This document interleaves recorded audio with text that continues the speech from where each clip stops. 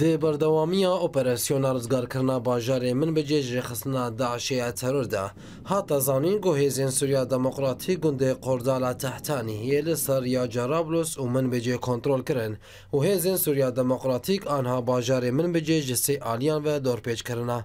جه درکی میدانی جه هیزین سوریا دموکراتیک دیار کر گو انجمنا من بجیا لشکری گو دبن سیا هیزین سوریا دموکراتیک ده شردکا به پیشتگری فروکه نونتوی باجار من بجی جه سه آلیان و دورپیچ کرنا او دا زانی گوش آلیه باکوری من بجی و هیزین سوریا دموکراتیک چمه تحتانی گو 6 کیلومتران لباکوری من بجی دکه و کنترول کرن اوج آلی روجهلات و جهیزن دموقراتی گنده خربات عویش او کابریجا کنترول کرنه وی جدری دوماند گفروکی نامنتوی بارگهن داشه در دورا من بجه به تندی تو باران کرن و هشت گوشتین داشه برون و در باسی نوا باجر ببن پیشتی گو هجمارک جچتین همان ریخسنی کشتی و بریندارکتن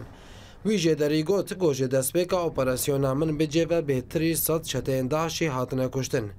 ji aliyê kêdin ve jî li Bakurê Reqayê pevçûnên tund di navbera hêzên Sûriya Demokratîk û grupeka çeteyên Daişê derketin holê got dixwastin derbasî bajarokê Eyn Îsa bibin. Lê hêzên demokratîk bersiva wandan û hejmarek ji çeteyên heman rêxistinê kuştin û birîndar ketin û lê gorî hincêderên meydanî gohîn şer di navbera her dû aliyan de li nêzî liwaê notosiyan de diqewmin.